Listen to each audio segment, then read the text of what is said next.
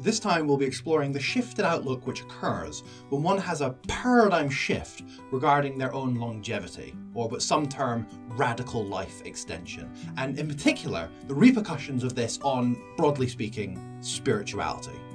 Coming up.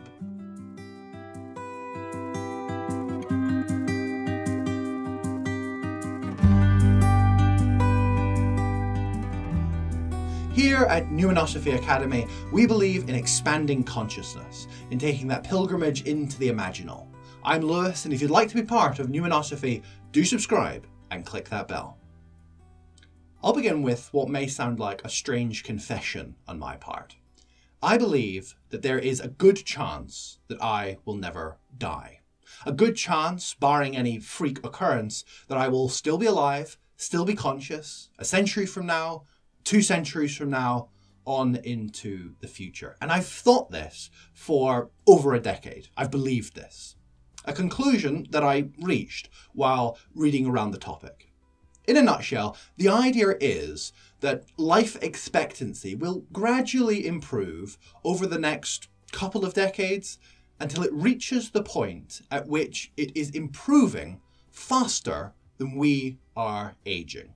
Now, I'm not going to get into any of the science regarding this here. It's not my area. If you want to go down that rabbit hole, I'd recommend looking up David Sinclair and Aubrey de Grey. My concern is the implications. The implications of this belief upon our own sense of self, our own subjectivity, and our own spiritual outlook. Pneumanosophy, my channel, my system, concerns modern spirituality, a broad approach which encompasses transcendentalism, pertaining to one's own authentic experience in relation to nature or reality, perennialism, pertaining to those universal truths and wisdom that we can discern that go beyond any single tradition or religion, and a concern for the unconscious, our interior worlds or interior dimensions all of which ties into what unfolds naturally for us as we progress in our own self discovery, as we come to know thyself and practice being still and silent with oneself, practice being present in the moment and orientated to the now. It may seem odd then to consider pneumanosophy in relation to issues of longevity and radical life extension. I think, though, there are a few good reasons to do so. Spirituality and science are very often pitted against one another, if not explicitly, often implicitly. And certainly our intuition here is doing its thing. If we're intuitively inclined to think in spiritual terms, which if you're here, you probably are, then you may be inclined to not even entertain issues concerning the direction of science. It's all part of this strange aspect of our human psychology. We hear an idea, it latches immediately onto a feeling, which for us determines its validity. And I say that as someone who puts a lot of stock in the power of our intuition. It's certainly a topic I intend to return to in the future. In this area, however, anything pertaining to medical or technological exponential change, it does seem to fall short. So I've already laid my cards on the table. I think this is coming. It's not a question of if, but of when. And so spirituality accommodating this change is not optional, it's ultimately obligatory.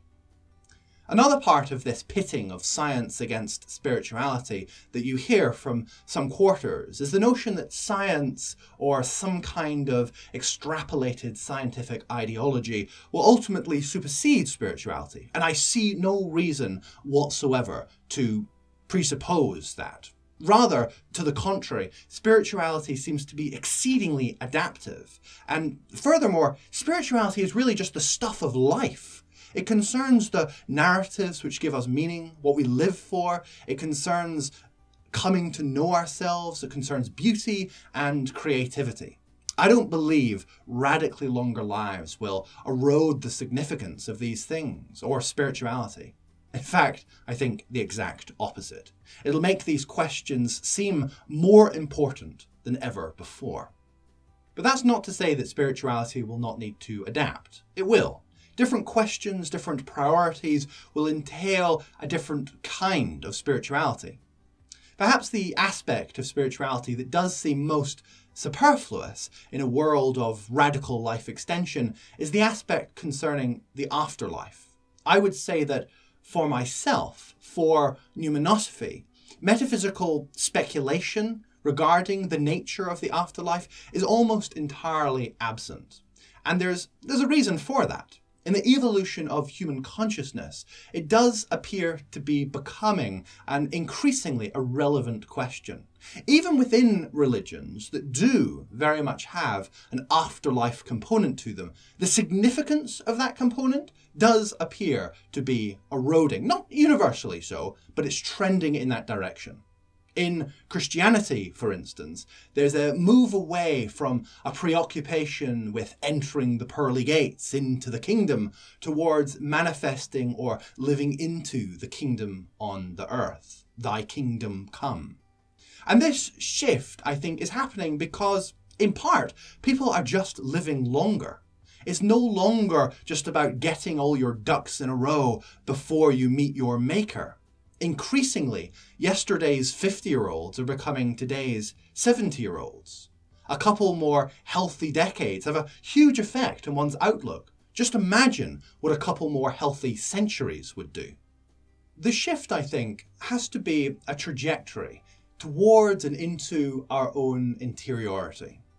It's not about gritting your teeth until you get to the next thing, whether that's gritting your teeth until you receive your pie in the sky when you die, or more atheistically, gritting your teeth until your next thrill or your next distraction. Rather, this paradigm shift entails finding a greater peace within yourself and within the world you inhabit, which in turn entails a greater focus on manifesting or creating a more peaceable world around yourself, a space that can sustain you spiritually, emotionally, intellectually, more or less indefinitely, which is a big ask. Gone are the days when you worked full time, nine to five, until your retirement, and then you just sat on the couch waiting for death to catch up with you. We need to be formulating sustainable models. The question of boredom comes into this as well. I've heard objections before that living considerably longer lives is undesirable because that boredom would set in, it would be unbearable. I find this idea, quite frankly, mad. It suggests a complete deficit of intellectual curiosity and spiritual imagination. I believe there are depths within us that we have not yet begun to fathom. Ralph Waldo Emerson, the father of transcendentalism, spoke about aligning ourselves with the slower rhythms of nature, the changing seasons. And almost by necessity, this slower, less frenetic, more contemplative approach to life would surely need to take center stage. Living considerably longer lives, we would be aware like never before of the evolving nature of reality the changing skyline, the shifting topography, the death of animals, of pets, all intensifying this awareness. The contemplative life entails this kind of slower, perambulating approach to what we're exploring. We could afford to take our time to inhabit paradoxical points of view in order that we might fully appreciate our own thought world. So I regard these as initial thoughts concerning the spiritual implications of radical life extension. If you think this is a worthwhile topic to delve into and uh, you'd like to go further, then you can help get the conversation started. Please do share, like, and comment on this video below. Uh, do you think spirituality would continue to be important to you if you had another century to live, say?